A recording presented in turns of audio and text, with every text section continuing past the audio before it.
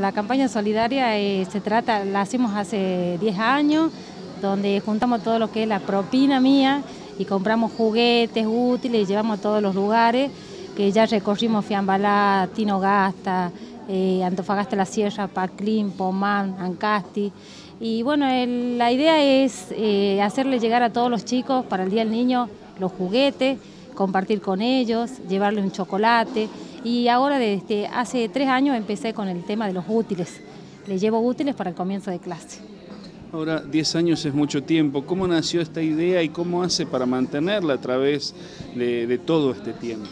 Y cómo nació esta idea es, es, simple, es compartir lo poco, más que poco, lo mucho que uno tiene, porque no hace falta ser millonario para compartir.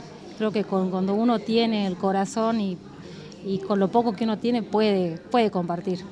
Y se mantiene gracias a las propinas que dejan los clientes.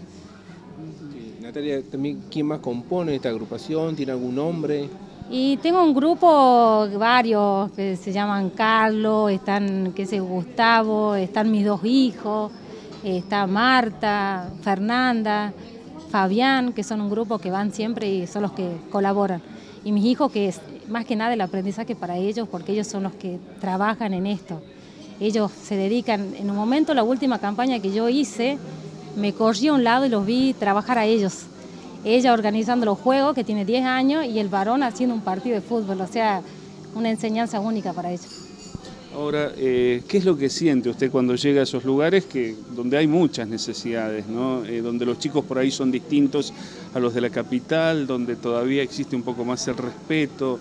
Eh, bueno, muchas cosas son diferentes. Se siente mucha satisfacción y muchas ganas de seguir en esto, porque vos cuando recibí un abrazo de un chico que te dice gracias por traerme un juguete, bueno, ya con eso estás, suma fuerza para seguir comprando, para seguir haciendo cosas para seguir compartiendo.